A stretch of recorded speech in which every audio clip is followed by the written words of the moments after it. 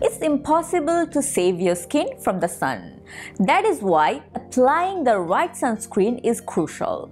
But the problem is not all sunscreens are created equal and picking the right sunscreen especially when you have sensitive skin can be extremely difficult.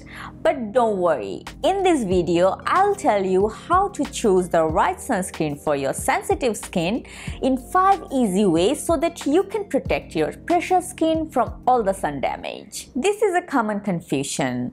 Should you go for mineral or chemical sunscreen for your sensitive skin? For those who don't know, there are two types of sunscreens, physical or mineral and chemical or synthetic. A chemical sunscreen uses ingredients that absorb UV rays. Once the ray is absorbed into the skin, the chemicals in the sunscreen go under a chemical reaction. This reaction converts UV light to heat and this heat evaporates from the skin. On the other hand, physical sunscreen commonly referred to as mineral sunscreen, sits on the skin surface and physically prevent UV rays from penetrating the skin by reflecting it. The primary active ingredients in chemical sunscreens are oxybenzone, avobenzone, octinoxalate, octocrylene, homosalate, and octinoxate. The active ingredients used in physical sunscreen are zinc oxide and titanium oxide. So which one should you choose for your sensitive skin? To be honest, chemical sunscreens have a terrible reputation. The reason behind this is the presence of actives like oxybenzone. Oxybenzone has been linked to allergies, hormonal disruptions like estrogenic activity and cell damage.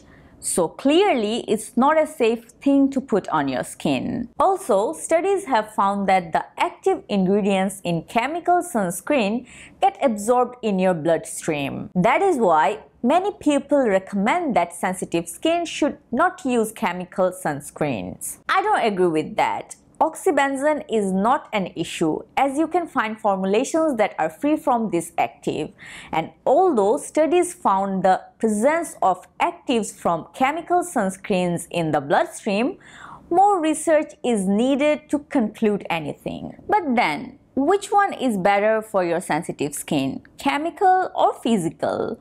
Well, I have sensitive skin and chemical sunscreen is working fine for me. So my answer is irrespective of your skin sensitivity, choose sunscreen according to what your skin likes. If your skin likes chemicals, chemical it is. Also, you can make a sunscreen combo. To get the max protection, use both physical and chemical sunscreens on your skin, but only if your skin is compatible with the formulas because you will get both inside and outer protection. If you are using physical blockers, choose zinc oxide over titanium dioxide because zinc oxide is an anti-irritant and is well tolerated by sensitive skin types. Zinc oxide also provides the complete UV protection. Neutrogena Sheer Zinc Face Dry Touch Sunscreen is a good option for people with sensitive skin. It contains zinc and is a broad spectrum sunscreen. For chemical sunscreen, La Roche-Posay Anthelios Melting Milk Sunscreen SPF is an excellent option for sensitive skin. If your sensitive skin is dry, eczema prone, let your SPF work double duty. Choose a sunscreen that has additional ingredients like hydrators. Some of the sunscreens on the market that target sensitive skin contain ingredients like colloidal oatmeal or ceramides. Also, there are some sunscreens options with hyaluronic acid or aloe vera. The benefit of having a hydrator in sunscreen is they offer the same type of benefits as traditional moisturizers while protecting you from the sun. For sensitive skin, having the right SPF is crucial as the skin is already in a fragile state and needs the highest protection. But by saying highest protection, don't assume I am telling you to use the highest SPF. I have my own reasons why. SPF stands for Sun Protection Factor, a measure of how well a sunscreen protects against UVB rays. Manufacturers calculate SPF based on how long it takes to sunburn skin treated with sunscreen compared to skin with no sunscreen. So technically, you would assume the higher the SPF, the better it is. But this is not the case. Yes, under ideal conditions like in a laboratory, a sunscreen with higher SPF protection and broad spectrum coverage offers more protection against sunburn than lower SPF. But real life is not like a lab. In real life, products with very high SPFs often create a false sense of security. People who use them tend to stay out in the sun much longer. They may even skip reapplying. If you have sensitive skin, this will damage your skin even more. Not only that, an SPF of 45 has been shown to filter out 98% of the sun's UVA and UVB rays. So an SPF higher than 45 may be unnecessary. If you have sensitive skin, avoiding sunscreen that has fragrances is the best idea. Everyone likes good smells that's why some companies may formulate sunscreens with certain fragrances to provide a pleasing scent.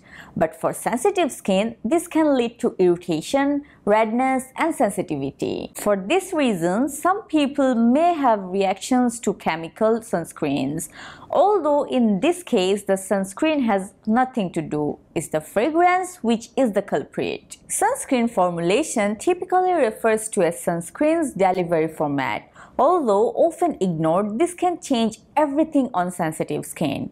Currently, there are five types available in the market sunscreen cream, lotion, sticks, sprays, and powder. In my opinion, the cream is the best formulation for sensitive skin types.